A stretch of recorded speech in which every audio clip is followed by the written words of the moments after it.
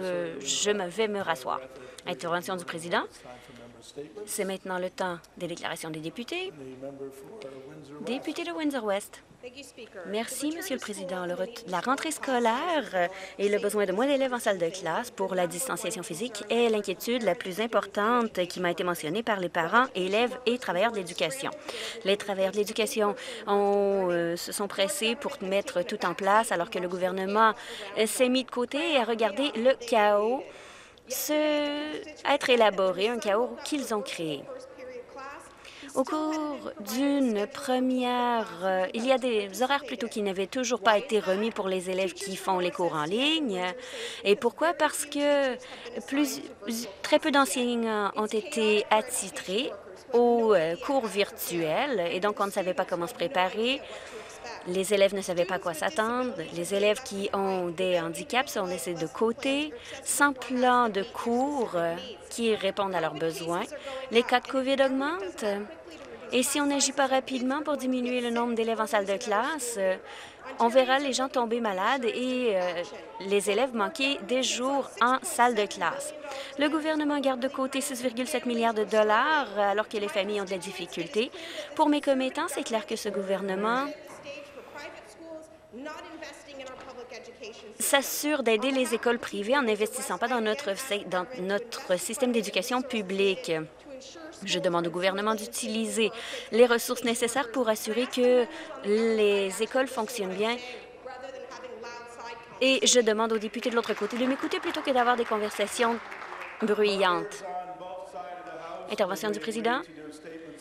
Lorsqu'on s'est mis d'accord pour être pour faire les déclarations à ce moment, on s'est aussi mis d'accord sur le fait qu'on euh, porterait attention aux gens qui parlent. Donc, euh, écoutons les déclarations. Prochaine déclaration, député, député de Sarnia-Lambton.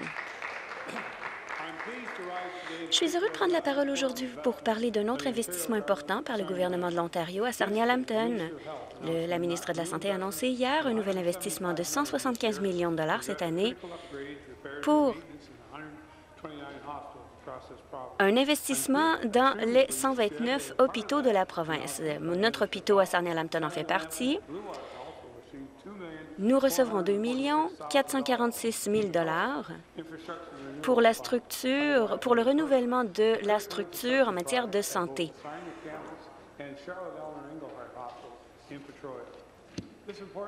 Cet investissement important ajoute s'ajoute au 1,8 million qui a été remis à Blue Water Health.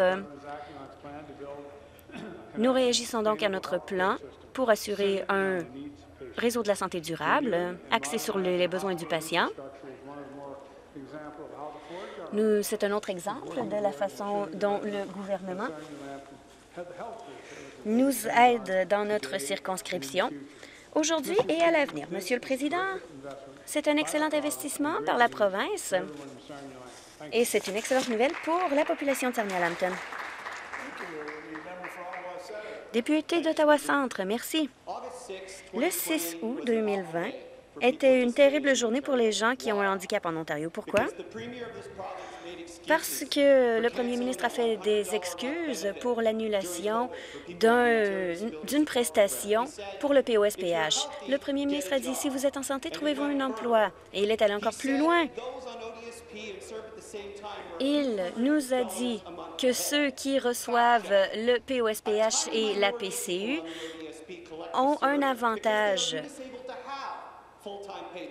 en fait, voici les faits. Les gens qui, ont le PO, qui reçoivent la POSPH ne peuvent pas recevoir la PCU parce qu'ils ne gagnent pas assez. Donc, vous trouvez que les gens handicapés devraient, euh, les personnes handicapées devraient se trouver un emploi en plein milieu d'une pandémie? Est-ce que c'est vraiment le but de ce que le premier ministre essayait de dire? Monsieur le Président, les gens qui ont un, un handicap dans cette province euh, font face à la pauvreté. Ces personnes méritent mieux. La pauvreté est dispendieuse pour la province. Les études nous disent que ça nous coûte des milliards de dollars à chaque année. C'est humiliant. Et sur une note personnelle, j'ai dit quelque chose et fait quelque chose. Je, en décembre dernier, je me suis excusée auprès du premier ministre. Mais maintenant, je lui demande de présenter ses excuses aux personnes handicapées pour ce qu'il a dit. et de rétablir euh, le 1 000 par mois dont ils ont besoin. Monsieur le Premier ministre, j'attends votre réponse.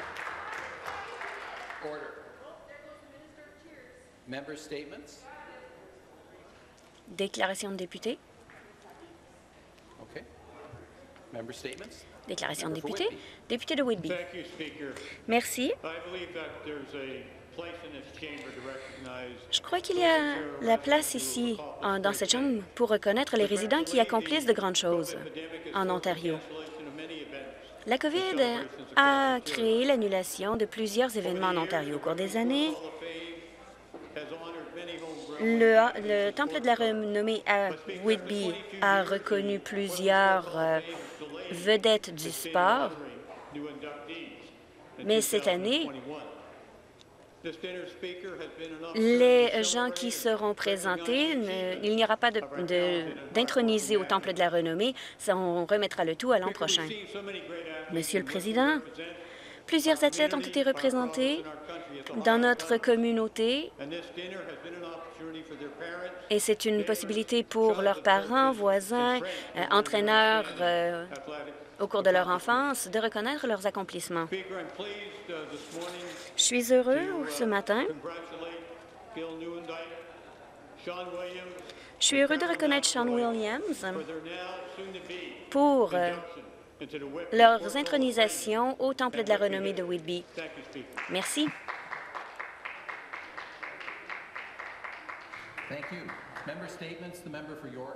Député de York Sud-Ouest.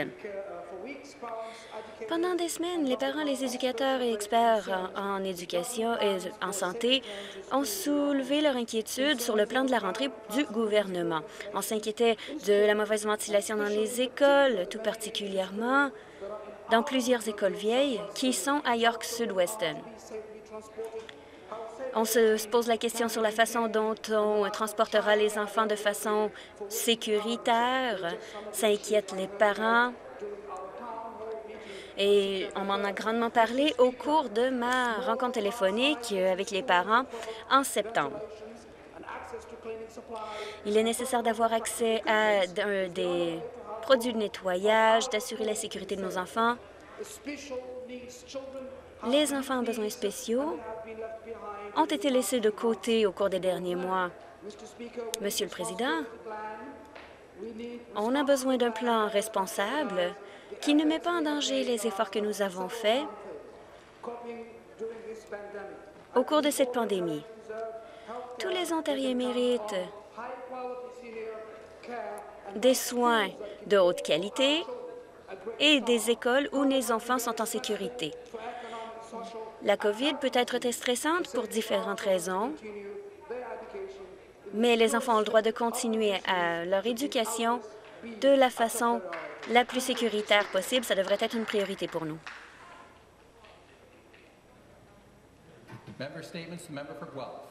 Député de Guelph, merci. Je prends la parole aujourd'hui pour demander au gouvernement de rejeter une exploration un permis d'exploration minière à Wolf Lake. C'est la plus grande euh, forêt de pins rouges euh, dans notre région. J'adore la forêt, j'adore les eaux bleues là-bas. En fait, moi et ma fille, on a fait un, voyage là cet été lorsqu'on a fait notre voyage de canot euh, père-fille. Il ne reste que quelques kilomètres de cette province. Ça met donc cette espèce d'arbre en danger. C'est un endroit très spécial dont on parle. Et c'est un joyau irremplaçable. C'est la raison pour laquelle Mike Harris, ancien premier ministre, a promis de créer un parc dans cette région, mais cette demande d'exploration minière l'a empêché.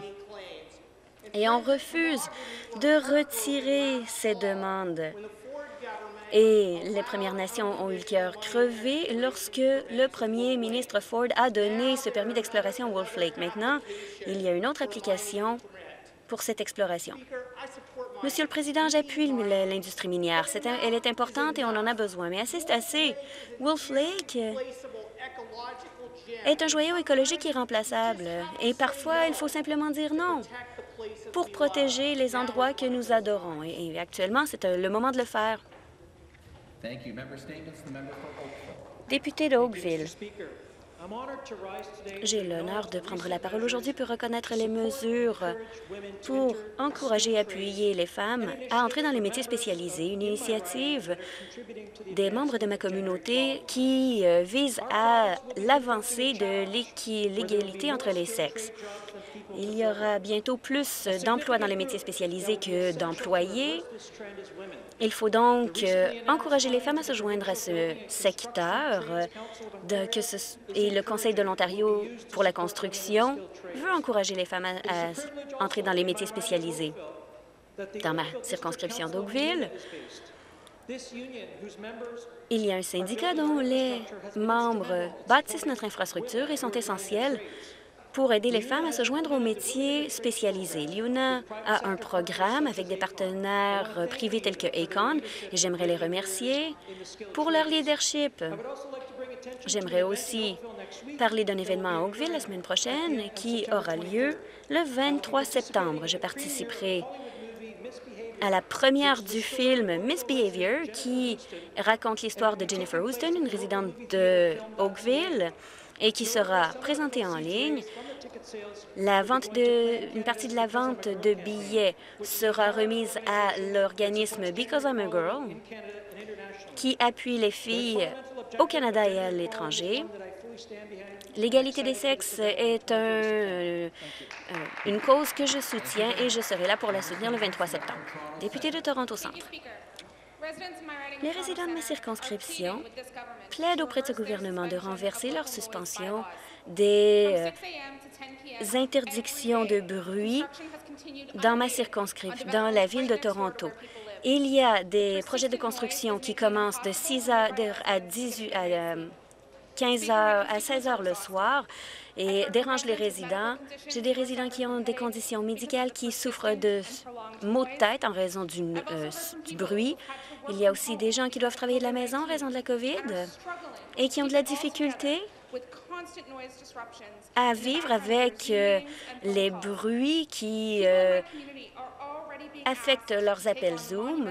Dans ma circonscription, on demande déjà à mes concitoyens de jongler avec le travail à la maison, les services de garde à la maison et le bruit, remplir la situation.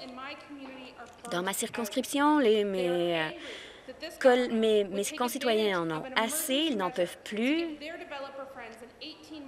Le gouvernement a donné 18 mois de plus à leurs amis promoteurs pour lire leur projet de construction sur le dos des gens de ma, de, ma communauté.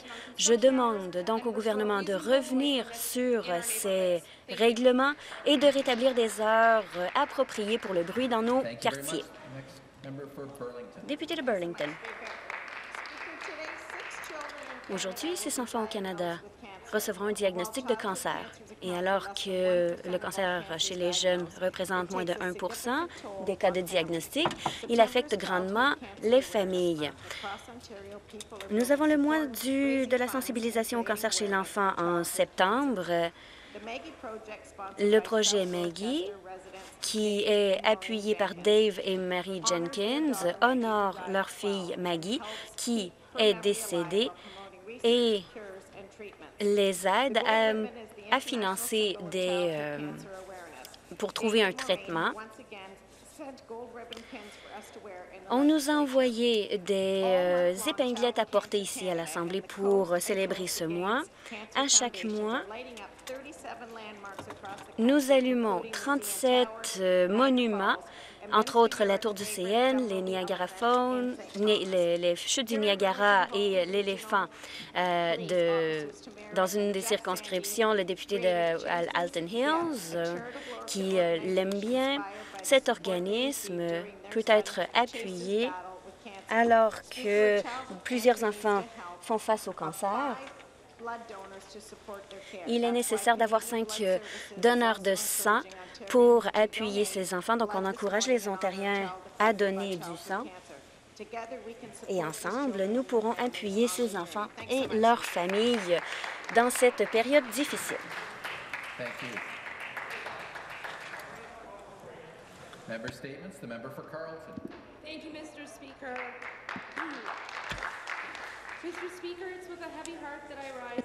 Monsieur le Président, c'est avec un cœur lourd que je prends la parole aujourd'hui, le 20 juin 2020.